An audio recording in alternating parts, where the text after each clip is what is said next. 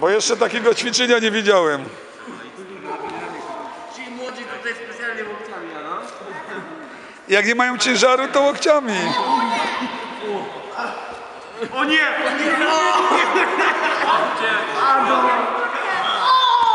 Łokcie specjalnie wbijamy.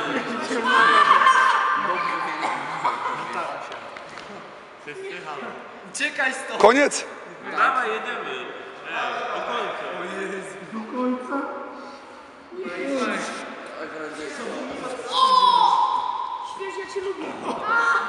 Franek, o, Franek! To masz masaż. A masaż to jest leczenie bólu bólem.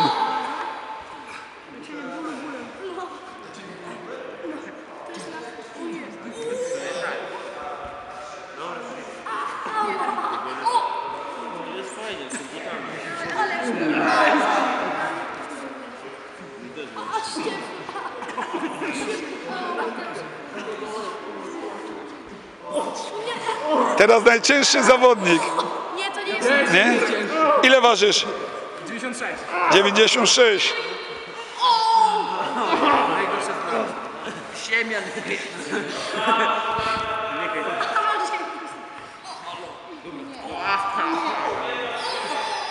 Teraz chcę zobaczyć jak, jak staną. Czy połamani, czy w całości. Jak się czujecie? Jest okej? Nie połamali was? Ciebie też nie? Ty jesteś Parzanowskiego. Jest z Sopotu. On jest na kadrze teraz. Zibi.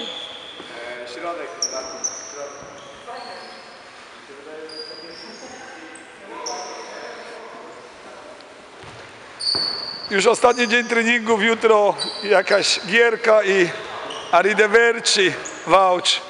Do swidania. Goodbye.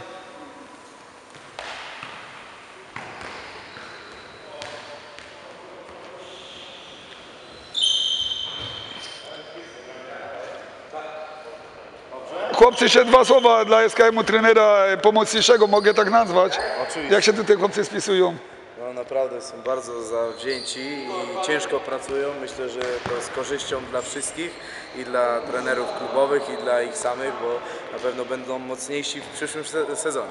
A taki obóz, y, ile to jest jakby przeliczyć na trening, y, treningu w klubie? Taki obóz dziesięciodniowy. Myślę, że nawet do dwóch, trzech Miesięcy. tygodni.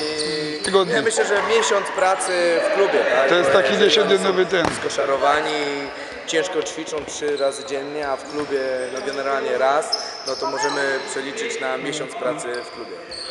Piłka nożna teraz będzie. Tak, dla rozrywki chłopcy już są mocno zmęczeni dziesięciodniowym e, trybem pracy, więc e, dla rekreacji możemy troszeczkę w formie zabawy pograć w piłkę nożną. I zostaje pan do końca. Jeszcze Ja- dwa kampy. Tak, pracujemy dalej. Może się jak pokaże jakiś megatalent, t- który nigdzie nie gra. Chociaż tutaj jest i wielu. Tak. Dobra, chodźcie chłopcy. Piłka nożna to jest B. Igor Pierzanowski. To na razie tyle, no zobaczymy co, jak to będzie wyglądać dalej.